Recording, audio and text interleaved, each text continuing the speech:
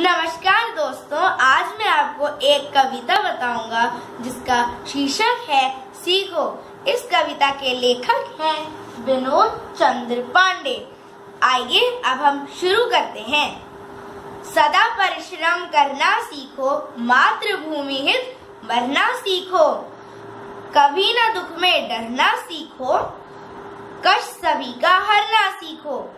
अपने पथ पर बढ़ना सीखो।